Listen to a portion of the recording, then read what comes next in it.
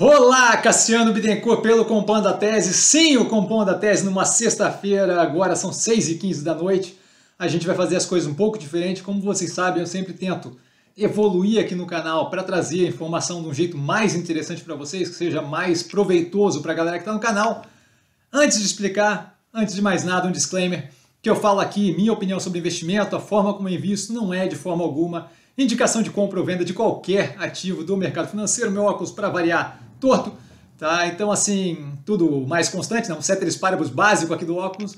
De qualquer forma, é, a ideia aqui é o que? É, é, dado que a gente matou a, o portfólio, daqui para frente eu acho que a gente vai ter a sexta-feira mais para um dia é, de reflexão do que propriamente para análise específica de uma empresa ou outra.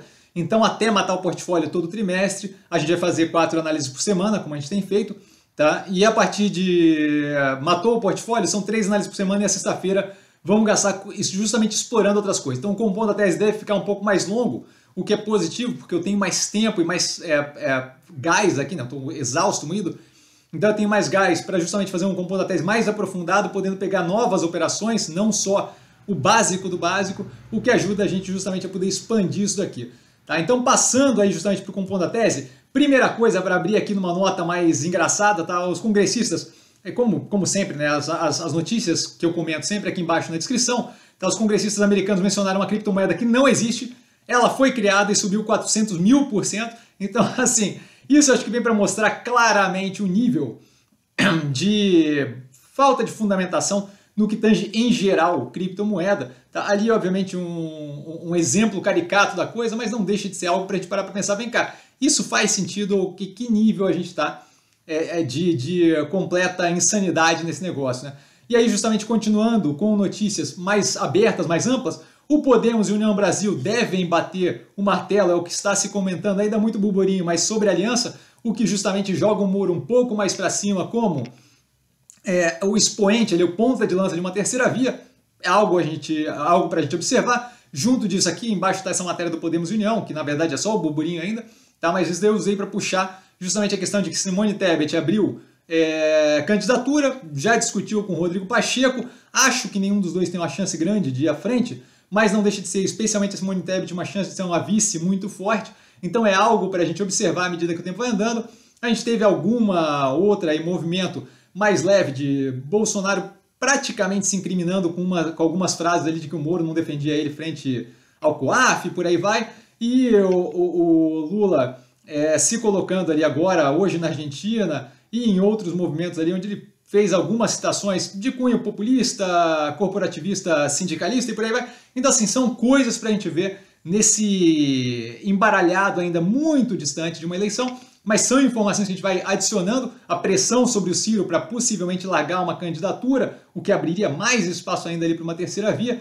Tá? Então acho que são coisas para a gente observar ainda muito, só citando aqui, só dando aquele a musbush, só dando aquele, aquela, aquela molhada no lábio para a gente poder começar justamente a poder é, entender como vai evoluindo esse cenário político. Tá? O tratamento com anticorpos eficaz contra a variante Omicron da GSK, a GlaxoSmithKline, tá? então é mais um ponto positivo aí de que pelo menos o tratamento com anticorpos funciona bem. A gente teve algumas notícias com relação a muito possivelmente mais infecciosidade da variante, menos severidade na doença, o que é bem positivo, tá? É uma chance considerável da gente ter aí é, um motor de imunização é, sem ter aquela consequência mais agressiva de uma doença respiratória muito forte, muito grave, o que é bem positivo. Ainda muito incipiente, a gente deve ter mais uma semana até ter de fato dados é, que, que, informam mais é, severamente aí o, o, quanto a gente está de fato é safe ou não, né? É bem ou não. De qualquer forma, três doses da vacina, ou seja, as duas é, de Pfizer, AstraZeneca e por aí vai, mais um booster, especialmente a Pfizer que divulgou essa semana, parece resolver completamente a questão com relação à proteção versus a Omicron, o que acaba sendo bem positivo. Passando para ativos em geral, a Local Web querendo investir 100 milhões no programa de Venture Capital, é o que a Minerva fez, é o que a... não, não necessariamente dessa forma, mas é o que a Minerva fez, é o que a Via fez, é o que várias operações vem fazendo, naquela questão de investir ali na possibilidade de ter startups já iniciando dentro da operação. Vejo como muito positivo, não acho que a operação está bem alinhada, mas acho que assim, demorou e finalmente tomou uma decisão numa direção que é bem interessante, que já tinha sido feita por vários ativos do portfólio e por vários ativos que a gente tinha comentado em vários componentes da tese, compondo da tese aqui, tá? O plural ficou complicado. A B3 atingindo um ponto é, onde ela comenta, se possível, é, áreas de negócio fora do cerne do core. Eu estou mais curioso que qualquer outra coisa para ver para onde ela poderia expandir, mas é possível que a gente veja aí algum nível de expansão para outras áreas como crédito ou alguma coisa do gênero. Estou curioso para ver como é, que, como é que expande isso. Pode ser positivo, pode ser negativo, dependendo de como as coisas forem. Então, é, para quem está comprado em B3, eu observaria de perto esse tipo de operação, dado que quando a gente vai começar a expandir a área de abrangência, do que eu faço é algo, é algo interessante é, prestar atenção mais, mais de perto na questão, tá? A Enjoei comprando plataforma chamada Gringa, tá, de artigo de luxo de segunda mão, vai muito alinhado naquilo que eu comentei na análise do IPO da operação, tá? No sentido de que o quê? Quanto mais valor agregado tem o bem, mais fácil é de eu ter um mercado de segunda mão. Então, acho que esse movimento, apesar da operação não me interessar, apesar do modelo de negócio não ser o mais interessante na minha visão, esse movimento eu acho que vai no direcionamento justamente de ter ali itens de maior valor agregado, o que de fato vai atrair é uma maior clientela, porque esse tipo de item tende a ter uma duração é, e, e, uma, e uma reciclagem, se eu posso chamar assim, muito mais interessante do que, por exemplo, roupa normal e por aí vai, tá? Então acho que é muito interessante esse movimento para a operação, acho que é positivo para a operação, não acho que resolve as questões todas que eu tinha no IPO versus frente a essa operação, mas acho que sim, é um adicional bem positivo, tá? A UIS também fazendo um movimento desse junto a Galápagos, aí eu acho que soa muito mais como desespero, está fazendo uma joint venture chamada WIMO, é, que vai atuar no crédito, então eu acho que é um movimento muito parecido com a Cielo, querendo criar a conta digital e meio que se debatendo com um setor que está é, enxugando ou mudando muito fortemente, o setor ali de corretagem de seguro. É um setor que eu vejo cada vez mais dominado por startup, insurtech e operações mais magras para fazer esse tipo de operação, usando inteligência artificial, usando menos corretores efetivamente, ou corretores na mesma quantidade, mas atendendo cada um muito mais clientes. Então acho que esse movimento aqui de atuar em crédito soa muito mais como um desespero diferente do movimento da Enjoei do que propriamente um andamento positivo. Me assemelha aqui muito mais ao andamento que a Cielo deu quando começou a querer abrir conta digital. Tá? A Mills, e aí a gente passando, é, eu, eu, pulei aqui uma etapa, desculpa. Vamos a IVE então antes. Tá? A IVE, que é, não, é, não faz parte do portfólio, da Embraer, tá? uma subsidiária da Embraer, recebendo encomenda de 60 ataques aéreos. Para a Austrália, a Embraer deve ser analisada na semana que vem. Por quê? Porque é uma operação que de fato está é, impressionando no sentido da forma como ela expandiu aquela subsidiária que trata de meio que táxi aéreo, né? carro voador, como você quiser chamar, é, mas aqueles veículos elétricos que, que voam estilo drone. Tá? Eu acho que isso daqui está de fato ganhando uma, um destaque muito grande dentro da operação. Acho que eles estão fazendo um pivot, um direcionamento muito positivo nesse andamento. Tá? E vejo isso aqui como possivelmente uma forma de revolução dentro da operação da Embraer que pode vir a ser muito positivo. Passando para os ativos do portfólio, a Mills comprando a maior locadora de plataformas elevatórias, que é o negócio principal dela em Porto Alegre, tá? é mais um andamento naquele de consolidação no setor. A Ambipar querendo 750 milhões em dívida para poder financiar aquisições e crescimento. A gente tinha comentado na análise que saiu recentemente, essa semana, se não me engano, é a penúltima análise, terça-feira, quarta-feira, tá? que ela não tinha ainda definido o funding, a gente começa a ver aí pelo Brasil Journal algum nível de informação é, do, de como é que ela vai fazer para justamente obter esse funding, para poder continuar crescendo de forma agressiva, que é o que ela vem, vem fazendo desde o momento do IPO.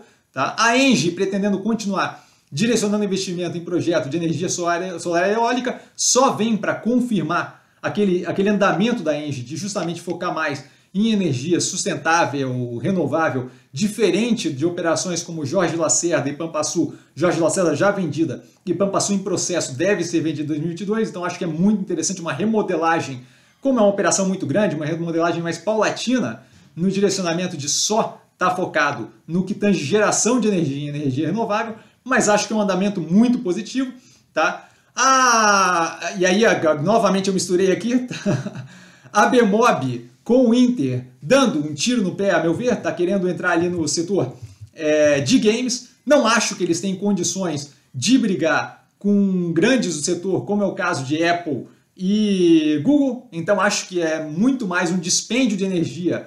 Para o Inter talvez seja interessante, porque chama mais atenção para aquele super app que eles têm.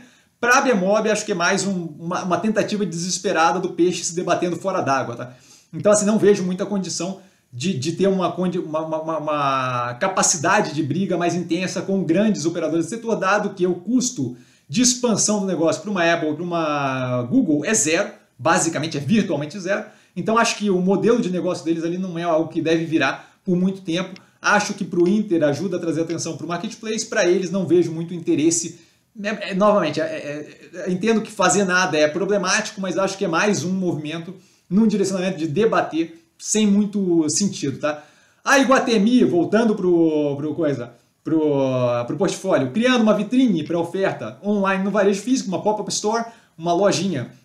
Lojinha é ótima. Uma loja é, pop-up, então uma daquelas que aparece, tem uma duração temporária justamente para exibir o Iguatemi 365, vejo como muito interessante, muito mais uma questão de jogo de marketing, qualquer coisa assim, mas não deixa de ser eles fazendo um movimento para justamente trazer popularidade para o Iguatemi 365, que é um motor de crescimento muito forte, comentado em várias das análises que a gente tem no canal. Tá? A MyCarbon, da Minerva, é, concluindo a primeira comercialização de crédito de carbono, muito interessante, acho que abre uma vertente para poder fazer uso disso, além de dar um carimbo de ESG, de Environment, Social Governance, meio ambiente, social e governança, para a Minerva que está vinculada a gado, a, a, a, produção de carne, que é justamente algo que tem uma névoa muito negra e sombria no que tange a questão é, de peso que tem sobre o meio ambiente. Isso daqui eu acho que ajuda a aliviar esse tipo de pressão, torna a Minerva é, como um competidor no que tange ali a questão é, ambiental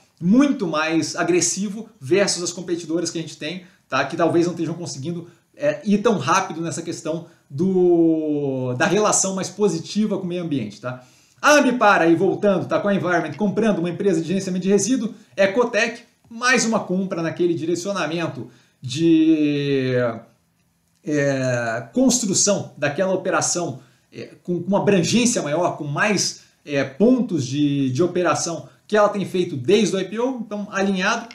Passando para a parte final, tem uma matéria aqui embaixo sobre Bolsa de Valores da Favela. Eu achei bem interessante o movimento de fazer meio que IPO, mas na verdade é uma forma de financiar operações menores, é, de uma forma mais, mais é, focada no micro ali, mas de auxiliar é, operações é, em, em, comunidades é, carentes ou favela ou algo do gênero, tá?